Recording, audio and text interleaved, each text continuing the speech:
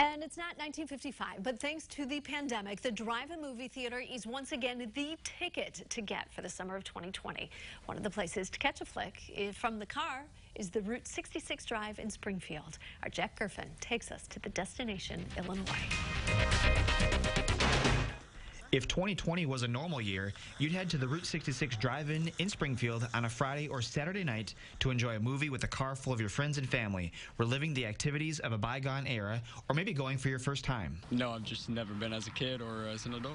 Now with COVID-19, it is not only one of the only places you can go to, it is also one of the safest activities you can do. I don't know if you could socially distance better than being in your own car. We're just keeping safe and staying away from everyone else. So to watch a movie. Business, as you'd expect, isn't what it normally is. The theater opened about a month later than normal, sales are down about 50%, and even Hollywood isn't distributing new movies. Keeping six feet of social distance cuts the number of available spots from 252 to 175 for each of the two screens, but it isn't all that bad. Lots of independent studios are interested in showing their new movies, and they currently show up to eight different movies a week, so there's a good chance your favorite movie or cult classic will be playing. We're we're learning a lot. I mean, our ticketing system, buying tickets online, uh, we're going to keep that. That's awesome. The beauty of the internet has tremendously helped out a business built on being nostalgic.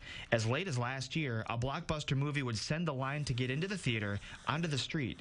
Now, with ordering online to be able to better control for social distancing, there is hardly a line at all. Food ordering is also getting a 21st century update as well. Using the FanFood app, visitors at the drive in or at the water park next door can place their orders and pick their food up at a pickup window. These will be part of a new normal at the theater. And it is a family attraction. And we advertise it as, uh, you know, put the jammies on the kids, come out if they fall asleep, so what? If they fuss, so what? Artists are being creative, realizing the potential that drive-ins have since there aren't very many new movies coming out, if at all. Country music star Garth Brooks has sold out a concert that crashed Ticketmaster's website for a performance only seen on North American drive-in screens.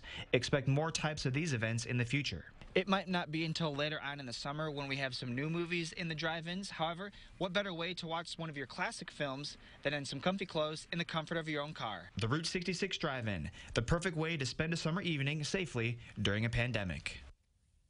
And now that Illinois is in phase four, moviegoers can sit outside their car, but they still have to social distance and wear masks when using the facilities.